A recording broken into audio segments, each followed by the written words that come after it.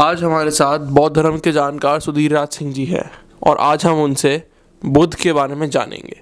सुधीर राज सिंह जी, बताइए हमें।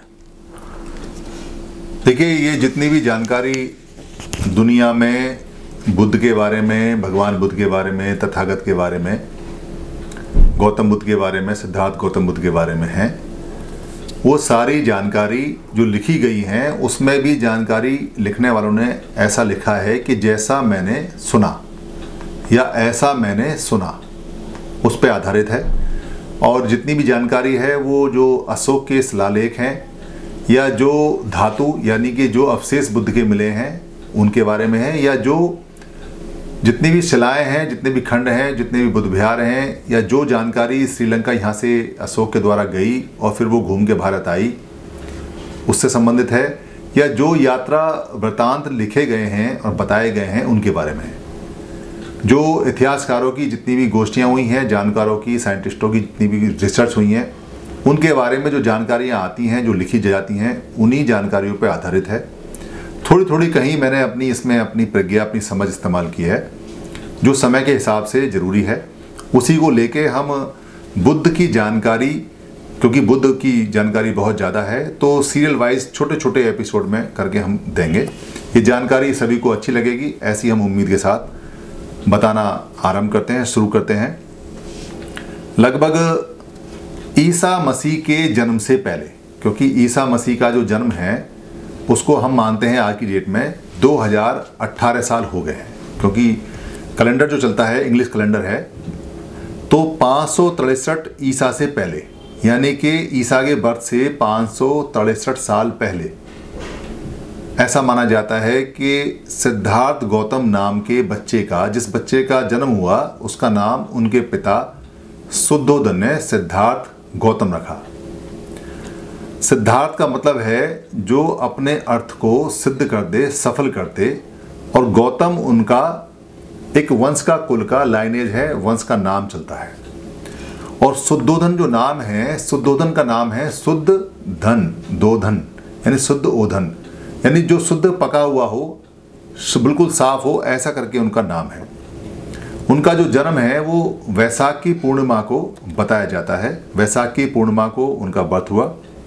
और कपिल वस्तु नाम की जगह, जिसको कपिल वस्तु हम पाली में बोलते हैं, जो आज नेपाल या उस समय का कहें तो नेपक पाल यानी उस समय जो उस क्षेत्र का नाम था, वो था नेपक पाल आज है नेपाल। नेपक पाल का मतलब है बुद्धिमान सूझबूझ वाला जो उसको संभाल के रखता हो, जो उसका प्रोटेक्टर हो। पाल का मतलब प्रोटेक्टर पालने वाला। और नेपक का मतलब है बुद्धिमान और सूझबूझ, यानी कि वो सारा क्षेत्र बहुत बुद्धिमान और सूझबूझ लोगों का था। और वो उसको संभाल के रखते थे, इसलिए उसको नेपाक पाल जो बाद में नेपाल पढ़ना शुरू हो गया। तो सिद्धार्थ गौतम जो वंश था, जो कुल था, उसको साक्य बोला करते थे।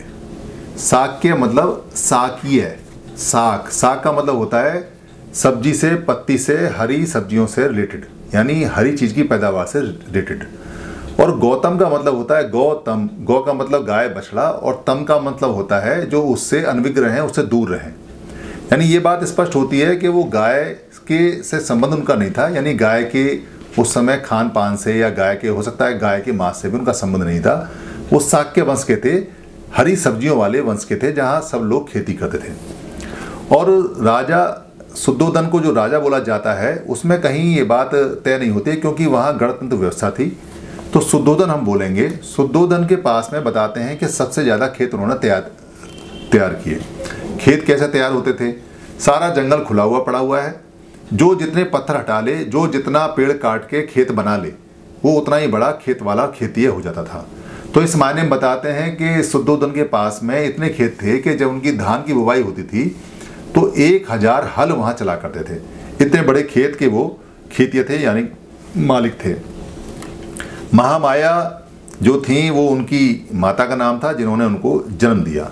महामाने बड़ी हो गई और सातवें दिन उनकी मृत्यु हो गई थी, जब सिद्धार्थ गौतम का बर्थ हुआ। और उनको पालने वाली उन्हीं की बहन थी, क्योंकि दो बहनें दोनों की शादी सुदोधन से हुई थी। तो दूसरी बहन का नाम महाप्रजापति गौतम था। महाप्रजापति मतलब महा माने बड़ा प्रजापति माने जो प्रजा का पालन करती हो।